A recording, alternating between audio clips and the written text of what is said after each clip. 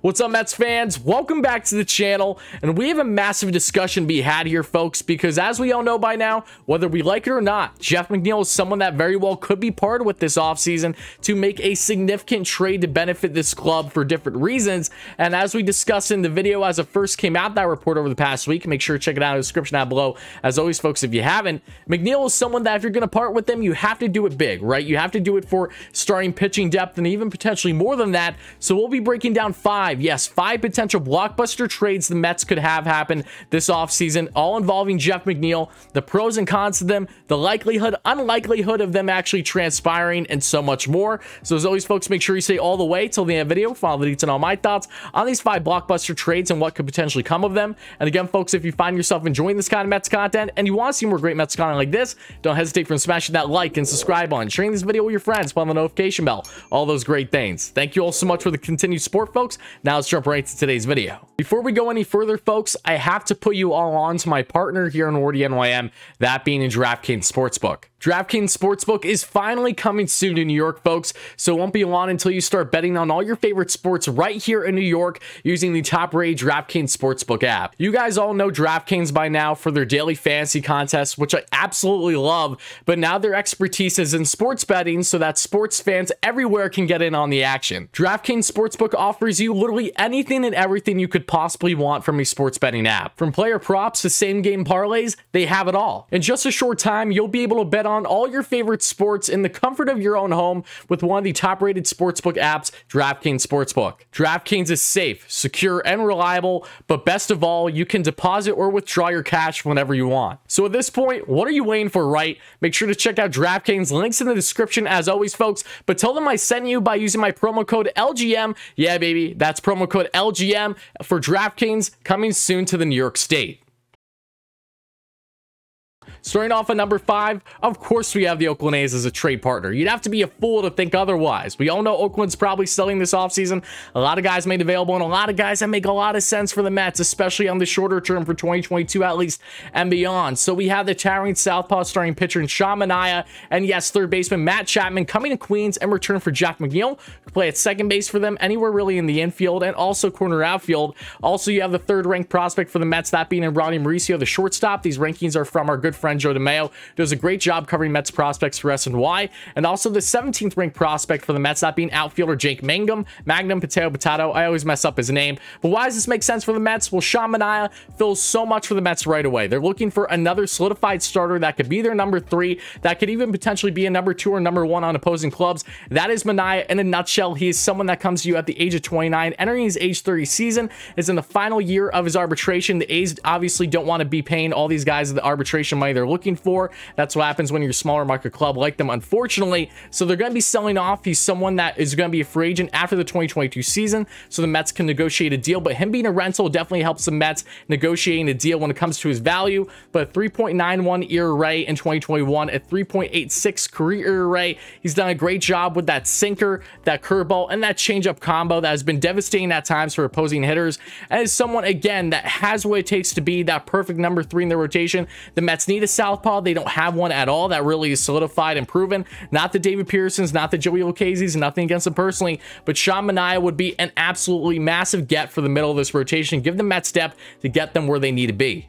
And now shifting things to third base, there's no one better on the shorter term, especially than the multi-time platinum glove and defensive player of the year, Matt Chapman, who came off of a significant hip surgery entering the 2021 season. You saw a dip in his offensive production because of it for the 28-year-old, but I ask you not to look nearly as much on the 210 average as you should the 27 bombs, the 72 RBIs. This is a guy who last time he was fully healthy hit 36 home runs over 100 RBIs. Year before that, 24 home runs, 100 RBIs. Someone that isn't necessarily going to hit for a high average should be better than 2021, gained adjusted from his injury, but it's still someone that you're not looking nearly as much with contact as you are with his big pop in his bat. Had great plate discipline, over 90th percentile in 2021 with his walk percentage as someone who saw more pitches per at bat than any other player in the AL. So he's definitely disciplined for sure, just has gone unlucky with his contact. And you're looking at the defense with Chapman more than anything else. 99th percentile in 2021 in OAA, which is that's above average. The best at the position. Him paired with Lindor, who had the same same OAA in 2021,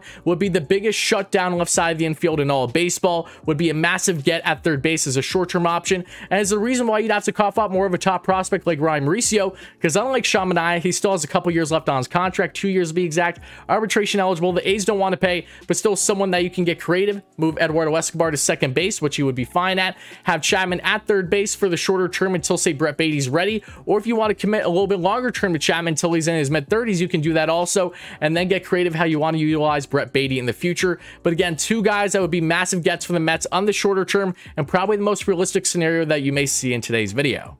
But now gained on to blockbuster number four, we have the same exact proposal with the only difference being taking out Sean Manaea and putting in his teammate, fellow starting pitcher and right-hander Chris Bassitt. Bassitt, Manaea, they're both rentals, final years of their contracts, so they profile awfully similar in market value, final year of arbitration. But Manaea, big difference is he's a little bit younger, and of course is a southpaw. I think that's most appealing to the Mets, but they can't land him, Chris Bassitt is a great get as well. Coming off of his age 32 season, had a dominant 2021 campaign with an ERA just over three, even after getting drilled in the face with a comebacker down the stretch of 2021. Doing his best Superman Kevin Pillar impression, was out five weeks, came back and finished the 2021 season strong. Is someone who's only been a full-fledged starter since the beginning of the 2019 season, which means he has a lot more life and a lot more, I think, run on his arm versus, say, Manaea and other options, which means that he very well could project well into his mid to late 30s. That's awfully appealing for a Mets team that is looking to add a starter that help them now, but potentially for years going forward. Chris Bassitt definitely checks off all those boxes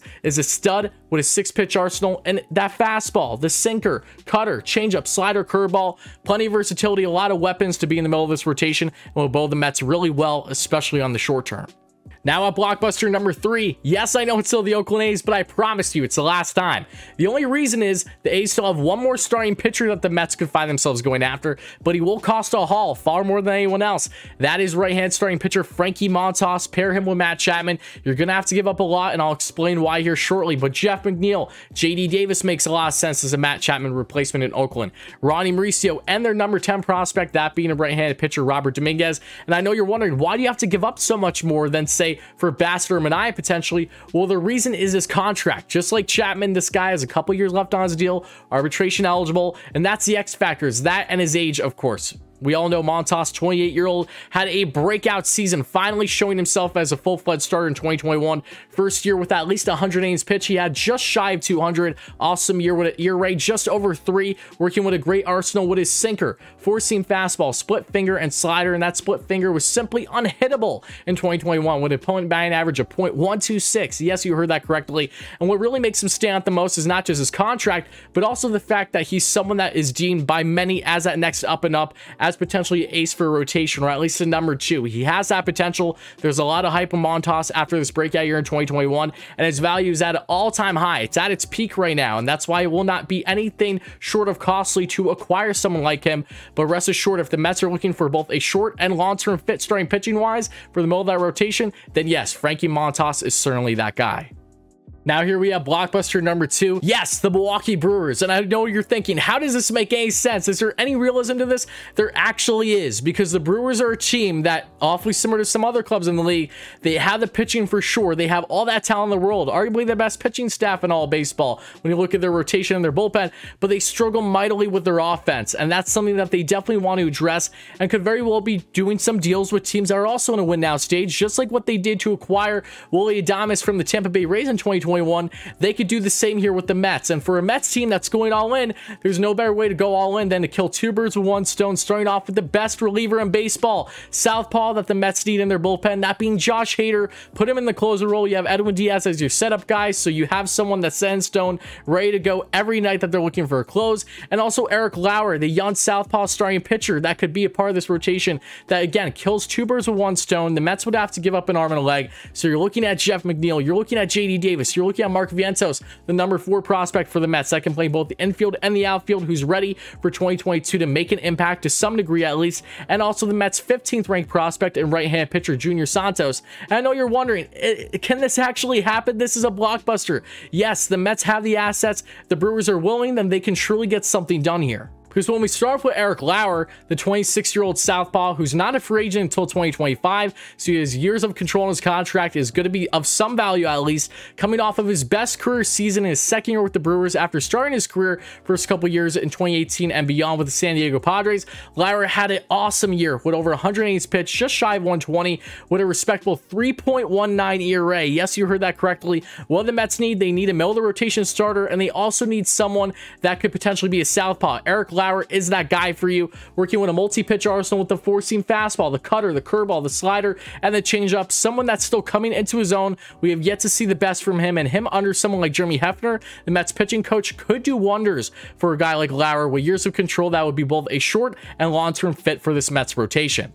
But of course, that big piece is Josh Hader, the 27-year-old Southpaw reliever. Closer would be for the Mets. Easily the best reliever in all of baseball right now. Won it again this year. He's in the 99th and 100th percentiles in every statistical category, it looks like. If you check Baseball Savant for 2021 and years prior, he has just been nothing short of dominant year in and year out. And every single team imaginable would want someone like Hader. And there's no denying that the Mets could land him. That gets them over the hump for a guy that can eat you upwards of 80 plus innings a year as as a reliever and just shut the door down every single step of the way. When looking at Hader's numbers in 2021, just filthy, absolutely filthy. A 1.23 ERA and 58.2 innings pitch is someone, when you look at his career, a 2.26 ERA since coming in the league as a 23-year-old back in 2017. A three-pitch arsenal, that devastating four-seam fastball, the slider, the changeup, some of the nastiest pitches you will see from any pitcher as a whole in all the MLB. Hader would absolutely be a massive get for the Mets and is someone that, yes, the only way the Brewers are really going to get a massive haul for certain guys is if they part with Hader, and they might have ability to do so now more than ever, knowing that they do have other options in their bullpen for the closer role, and they also now are in a spot where they need offensive production. So that's really the X factor here. If the Mets give Jeff McNeil, they give JD Davis, they give Mark Vientos, that could be an impact player for them as soon as this season, along with Junior Santos. That's a deal that very well could happen, and I know that's a lot to give up, mainly looking for a reliever and also for a starter that has to prove himself some more. But the Mets are going all in as they are right now. If they're looking to address things, kill two birds with one stone, there's really no better options in my mind that potentially gain the best reliever in baseball and a young upcoming southpaw in the middle of your rotation that's plenty more to give with years of control control on his contract, as does Hader, who's not a free agent until after the 2023 season. And last but not least, blockbuster number one. Yes, it's the Cincinnati Reds, and yes, it's a pitcher that I know so many Mets fans want. That being in the ace himself, right-hand starting pitcher Luis Castillo. He will cost you an arm and a leg, but if the Mets are really going all in, there's no one better for either the trade or free agent market available, than yes, Luis Castillo before anyone else, right? But you have him paired with a reliever, so you kill two birds with one stone. Add that bullpen. A right-hander like Luis Cessa, who has familiarity in the New York market, makes plenty of sense. You'd have to give up a haul, though. I'm looking at Jeff McNeil. That could potentially be a Nick Castellanos replacement in that right field. Corner outfields can get the job done. Favorable contract is going to hit really well, too, in Cincinnati which is a great hitter's park. Then you also have David Peterson, a controllable young pitcher with plenty of years on his contract. That makes a lot of sense for someone like the Reds to really go in this retool slash rebuild phase. Then you also have the others of Ronnie Mauricio and yes, Robert Dominguez. And I know it's a big haul, but that's what you have to do to land those big fishes. Luis Castillo's value is still extraordinarily high. It's still unlikely if he's even going to be able to be part with this offseason because the Reds have been reluctant at times. They're back and forth. They're always seesawing what they want to do with them, but no less, he would get them a haul, and the Mets can surely give up those assets should they wish. But Luis Cessa first, the 29-year-old right-hand reliever, had his best season splitting time with the Yankees and then being traded mid-season to the Reds with a respectable 2.51 ERA. Throughout his career has been a little up and down, but for the most part respectable and multiple years with the New York Yankees, so he has a familiarity with the New York market and the prime of his career coming off of a great season would help the Mets for sure to add another significant arm, at least a decent arm into that bullpen. There's no question about it. Dealing with a multi-pitch arsenal with the slider, four-seam fastball, changeup, and sinker. And when you look at his changeup especially, that's unhittable. Opponent batting average of 2021 at .107. But then when you get onto the big fish, that being Luis Castillo, that is where things get really exciting and, of course, really interesting. Castillo was one of the best aces in the NL and has been since he arrived as a full-fledged starter around 2018. Hasn't skipped a beat, and I know that he didn't have necessarily the most perfect season in 2021 after having a 7-plus ERA through the first couple months of the year. So to see him have a sub-4, a 3.98 in 2021 is that more remarkable. He has absolute gas on that fastball with his multi-pitch arsenal and the changeup, fastball, sinker, slider. That changeup is easily the best among all starters in the MLB. Had over 80 strikeouts with that pitch alone that utilizes so much in 2021 and throughout his career. It's so nasty, it's so much movement. And Castillo overall is someone that will take whatever team lands him to that next level. So to see the Mets with a Jacob DeGrom, with a Max Scherzer, then landing a Luis Castillo with a career 3.72 ERA with so much more to give, he's going to be a dominant starter for years and years on end in the, in the MLB, wherever he lands. And yes, if the Mets can land a Castillo, that takes them over the hump. That gives them the best rotation in baseball, and that gives them their best chance to use their pitching all the way to help win a championship in 2022 and beyond. But here lies the biggest question, right? Can the Mets outbid other teams that are going in for Luis Castillo. Even the team in the Bronx, like the Yankees, they would love Castillo, and they have a deeper prospect pool than the Mets. So can the Mets pony up a better offer than anyone else? It's possible for sure, because the Jeff McNeil and David Peterson aspects are really the X factors in my mind. Because if the Mets are basing this just on prospects alone, they're not going to give up Alvarez, they're not going to give up Baty, those types, and surely other teams have deeper prospect pools to make a deal work. But those guys, like Peterson, like McNeil, McNeil would do so well in that park in my mind. I don't want to see him go, but again, Luis Castillo is that exception for me, no doubt about it. David Peterson could thrive on a controllable contract for years going forward as a hot commodity, as a southpaw that just needs to get things balanced a bit, dealing with some injuries in 2021. And again, Ronnie Mauricio, that's your shortstop of the future wholeheartedly for the Reds. So again, the Mets, a team that is not really interested in parting ways with young talent, this is that exception when you can land a bona fide ace like Luis Castillo, who would be not your one, not your two, but your number three starter. Boy, oh boy, would that be something special. But that wrap things up for this video, folks. I want to give a big shout out to my good friend James Schiano, who's the co-host of the Mets Up podcast, with our also good friend Draftneck Mark. James was a big help in helping me kind of go about these deals, proposals that really make the most sense from a pitcher value standpoint, and also just naturally what you'd have to cough up, what makes sense for both sides. Shout out James, really does mean a lot. But guys, let me know all your thoughts in the comments below. As always, folks, when you look at the Mets and their five potential blockbusters here, what one do you like the most, dislike the most? Which one do you think is most realistic? Realistic, unrealistic. Again, I know the discourse in the comment section is going to be ridiculous from this video. I'm not going to get everyone to agree with me, agree with me. I know not everyone's going to disagree with me, but naturally, it's so hard to pinpoint what exactly is best for not just the Mets, but the opposing team and coming up with a deal that makes sense for both sides. So I'm ready for whatever you guys are going to say, the backlash or the positivity, but no less, make sure to let me know your thoughts. And again, if you found yourself enjoying this kind of Mets content and you want to see more great Mets content like this, don't hesitate from smashing that like and subscribe button, sharing this video with your friends, on the notification bell, all those great things. Thank you all so much for the continued support, folks. More great content here coming on Wardy NYM shortly, and I'll talk to you soon. Let's go Mets, baby.